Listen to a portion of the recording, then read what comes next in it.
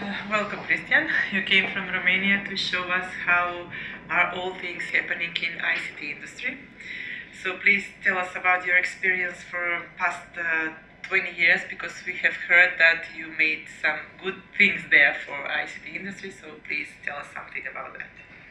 Well, thank you for inviting that, for inviting me here. Um, Romania has an experience of uh, almost 20 years now in the IT field.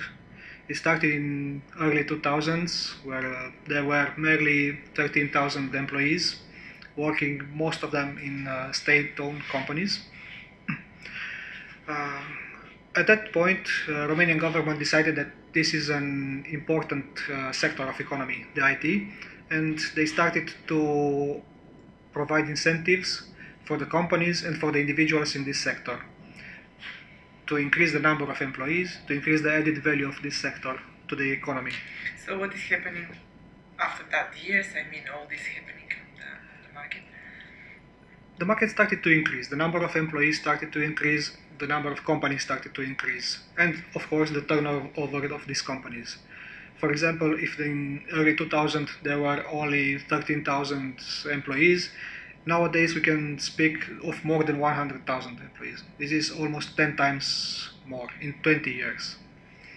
You think that this is according to these incentives that government made, so for sure this is the effect of, of that. The, uh, the incentives have a very important role. Mm-hmm. What about the GDP in ICT industry?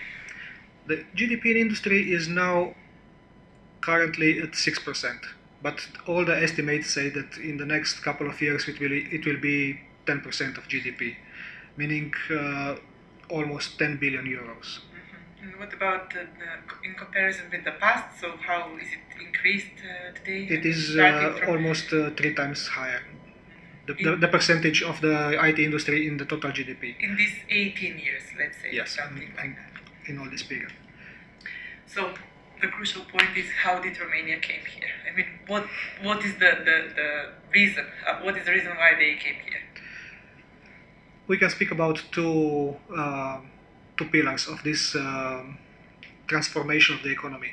We're speaking about the education and the taxation. The taxation meaning incentives given to these companies and individuals. Education uh, played a very important role.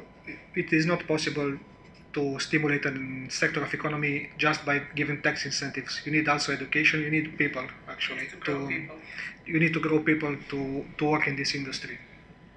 Now in Romania there are more than 200 um, educational institutions. I mean universities, high school. For uh, technical stuff. Yes, for technical stuff. And all these universities are providing more than 7,000 tech graduates annually all of them, mean, most of them are working directly in IT industry since their first year of uh, education. From the first year uh, when they are uh, becoming students, they are they are already somehow involved in the um, IT industry by internship, by grants that they receive from companies, by various uh, university programs of uh, ex student exchange between Romania and other countries, for example, with uh, Erasmus program or other programs uh, or other similar programs. This is important because the IT companies, a lot of them, are uh, working very uh, close with the local universities. So maybe this is the way how they create the, the workforce. I mean, how are they planning the demand for the for the ICT professionals? This collaboration is a crucial one. Other, uh, you know very well that uh, universities are not very linked all the time with the labor market.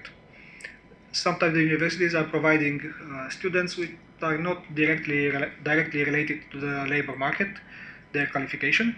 Therefore, the IT companies decided that uh, they should run sponsorship programs for the universities to uh, present them exactly what they need so that universities can provide them with students, with prepared students, students on that uh, specialization. Yes, and in this process of planning the, the workforce, I mean, the uh, specific uh, uh, education skills, etc., is somehow connected with the with the economy, which means that the companies are the ones that are supporting this with some donations and something like that.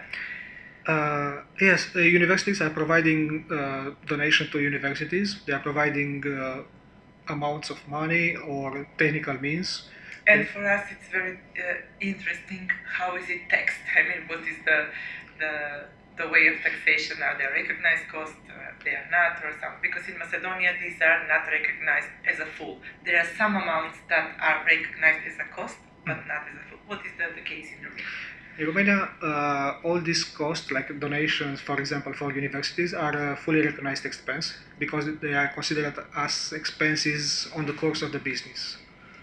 They are expenses for the, the future development So of there the is business. no limit. So there is no limit. And there is is there some procedure that you have to uh, fulfill in order to gain this, or it is just like that? It is just like that. You just have to have a written contract with the university, a collaboration contract, and Because in Macedonia it has to be enough. proved that it's from public interest, etc., etc., is still up to some limit to be recognized as a cost.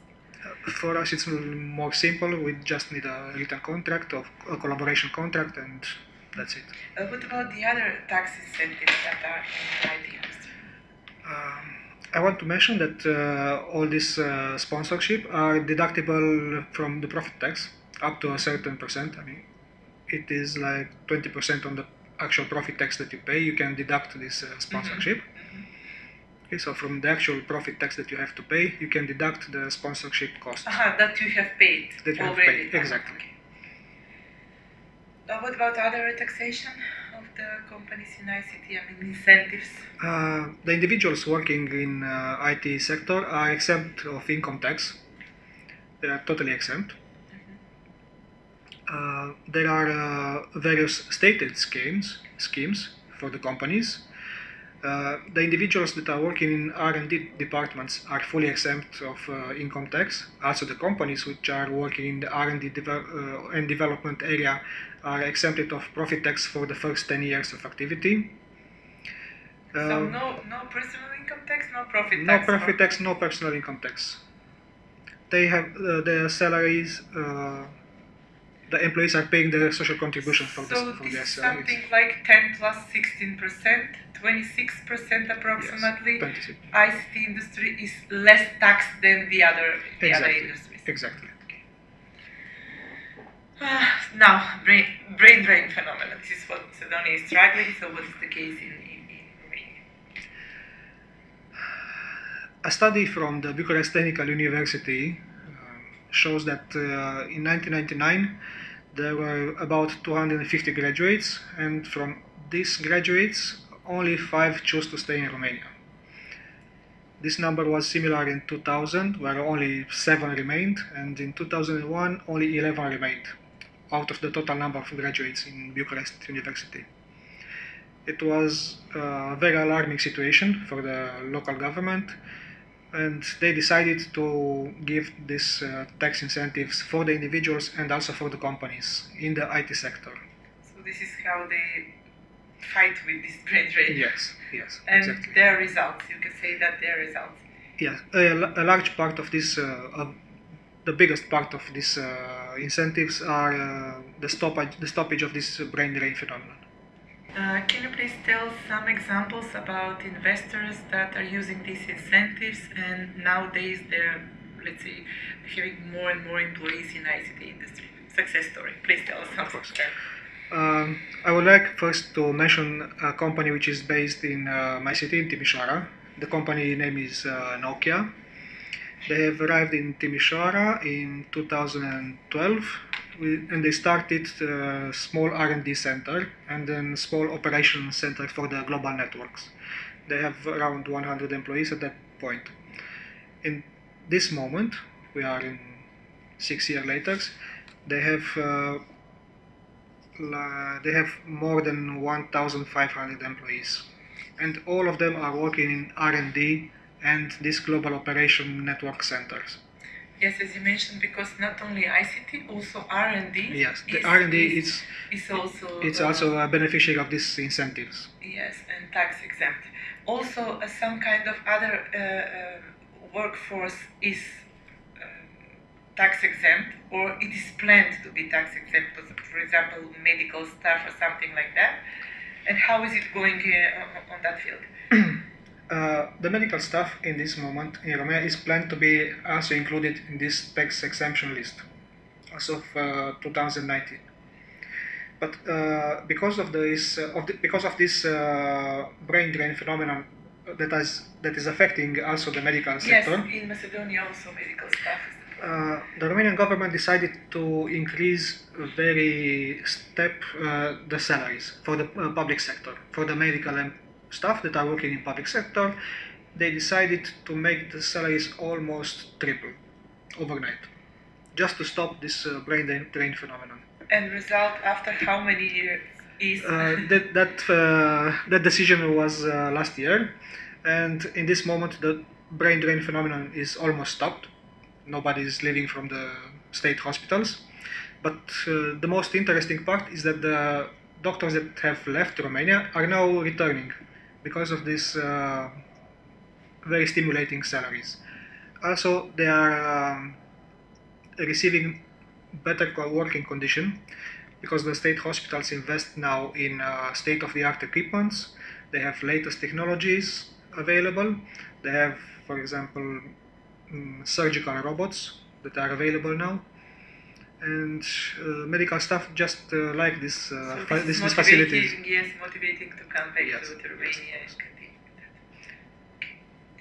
Uh, thank you very much for this uh, story. I think that we should learn a lot from that. Thank you. I hope you you will do.